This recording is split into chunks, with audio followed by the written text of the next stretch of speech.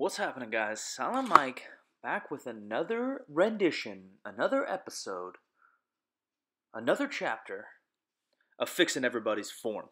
Uh, remember, if you want to get involved, send us a video to ask m-i-k-k-e at gmail.com we want it landscape that means the long ways sideways horizontal as high quality as possible front and side 70 to 75% for three reps. Choose one lift, send it over.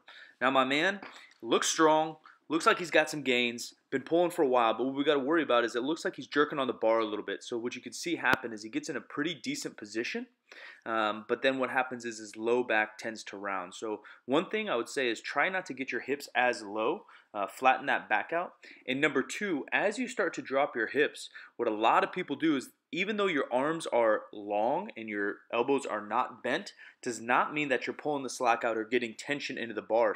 I'm literally using the barbell as leverage, as a counterweight for my body weight falling backwards. So that means that there's going to be real tension in my arms, not just not arm bend. You can actually see right before you pull right there, there's a little elbow bend, and then you start to crank on it. Second rep's a little bit better.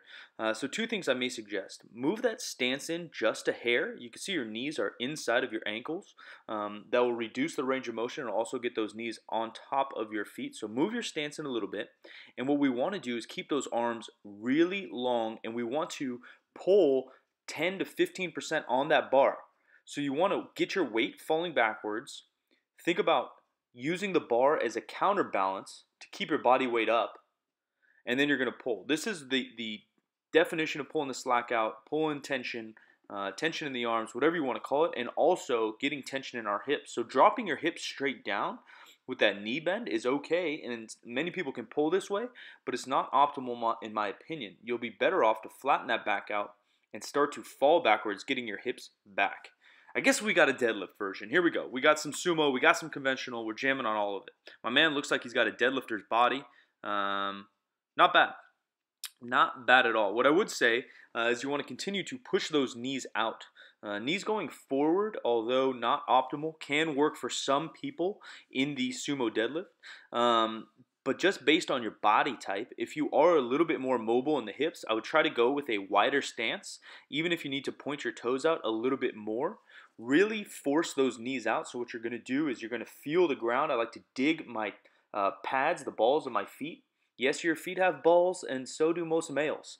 Uh, and you're going to really twist outwards, and that's going to force those knees out, also activate the glutes a little bit. Uh, and getting your knees out will not only get them out of the way of the barbell, the path, uh, but it'll also allow you to use your legs a little bit better and keep tension through the whole system. You have long arms, you got a fairly short torso, so you want to take advantage of that.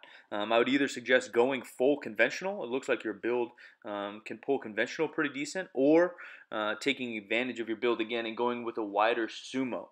Uh, people see me pull a lot, or Ed Coan, or whatever, and they call this hybrid sumo or close stance sumo, or whatever you want to call it. That's just um, basically a accumulation of a couple things, our leverages, and then um, our mobility. So if you have better leverages, uh, which this gentleman does here, I would take advantage of it. When that position looks all right, uh, you got a little upper back rounding. We don't have to get into that topic too bad, um, but it looks decent. The issue I have here is same kind of deal. You do get, end up getting a pretty flat back, but you're pushing your hips under you, and you want to keep that back flat and push your hips backwards. Cueing hips to the bar can create an opposite problem for most people. Getting your hips close to the bar creates that posterior pelvic tilt. And what that's going to do is roll those hips under you, unflatten your back, and not be optimal to lock out. The starting position is so important not only to get speed off the ground and use your muscles properly, but also to lock out all deadlifts. We got some bench press. This is actually looking really, really good. Um, hard to see the lower body right there. But from that position, your upper body is looking really solid. The one thing I'd suggest is I know it's slow mo, but um, work on your pause. Uh, whether you're a power lifter or not, pausing the weight will force you to not heave the weight. Shoulders are in a decent position. Um, you could probably get them a little bit tighter. You see the elbows get a little bit wonky. That's probably just because you're bouncing it or heaving it slightly. Uh, so a little bit of a pause on the chest, whether your goal is hypertrophy or strength, uh, I think can be a benefit in the long run.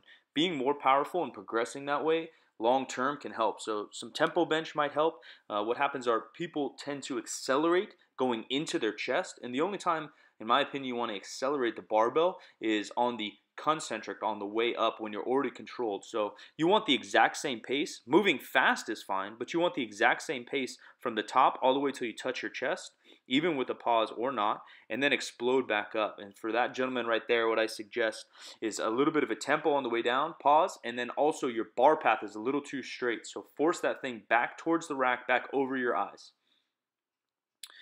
Uh, man, talk about a deadlifter's build. So actually, um, it's hard to say really because you look very efficient with this pull.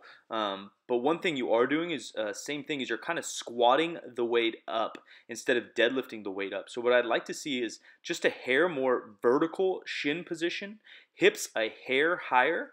Uh, and I think you're going to have a huge deadlift on the way. This doesn't look that hard for you, and I know I suggested 70%.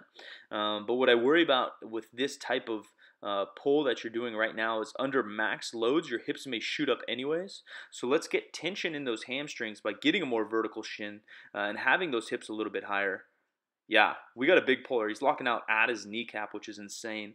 Um, which is common to see sometimes with a little guy who has a little bit shorter torso, but it also looks like you're fairly tall. Uh, correct me if I'm wrong in the comments below, my man. But what I would try to do is actually bring your chin, tuck it in, eyes a bit higher, hips a bit higher, get some tension in those hamstrings just like everybody else. Um, but it's really good form, really, really good form. I think you have a, a you know well over 600 pound deadlift in you uh, with a little bit more pulling practice for sure. It looks like you're messing with 315 uh, right now. Um, but find a solid program. Get those hips a bit higher, shins a bit higher. On the way down there, you actually have a little bit better form. You can see we got a bunch of pulls going on today. All right.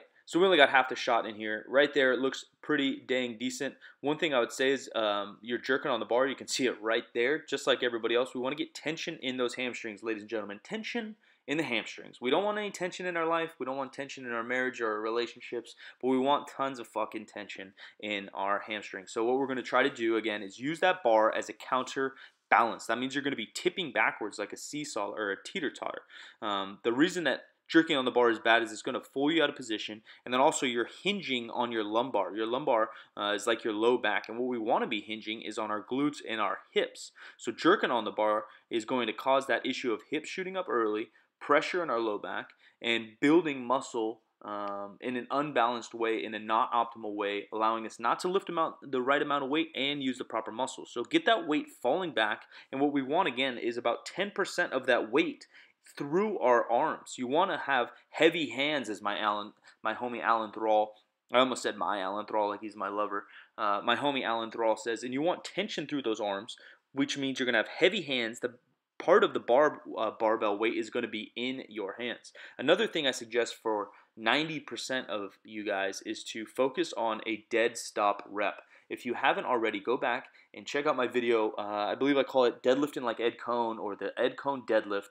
And basically, it's going to be a semi controlled eccentric deadlift. And if you're training with a good, proper program, proper form, it'll teach you to lower the weights slowly enough that'll put you in a proper position for the next rep. Touch and go is going to reinforce that bad habit of hinging on your lower back and also not getting tension in the bar. So same thing right there. You can see my man moving his hands while he's in the starting position. When you're in a proper starting position, you can't move your hands or you'll fall. Though there's so much tension in your arms, you have an elbow bent is just improper. So again, squatting the weight up, no tension in the hands. That's why the hips are going to shoot up forward and all your body weight's going to end up throwing up over the barbell. And the touch and go right there, the mini bounce is just going to reinforce that bad habit. So let's go dead stop. Everyone that's listening right now, we're doing dead stop reps. You can do full reset reps, let go of the bar, take a half step back, step back up. That can really reinforce good, proper form. Um, but I, what I suggest is having, oh, we got a twofer with this guy. You want to have your hips a little bit higher, tension in those hamstrings, tension in the glutes, and then real tension in the bar through the bar into your arms. Squat actually looks uh, really, really solid. Um, not much I can say from this angle. Uh, you might be able to go with a slightly wider stance, but there's absolutely nothing wrong with what's going on right now. Ain't nothing wrong with a little bump and grind. I believe uh, R. Kelly said. Ain't nothing wrong with a little bump and grind. You guys are welcome for that. Hopefully, you can turn up the headphones. Um, what I would also suggest is perhaps just slowing down that eccentric a little bit. Under heavier loads same thing will happen is that uh, barbell you want to be in control of it the entire time and your hips are going to end up shooting up. So what i would suggest is i think about my bottom of my feet as like some magnets and i'm going to pull myself pull myself down into the hole of the squat forcing your knees out pulling yourself down with your hamstrings um, being in control the entire time and exploding back up. So again, tempo squats, uh, having a three second eccentric with a th- three second concentric can help a lot. That's it for this one, guys. Give it a thumbs up, give it a subscribe.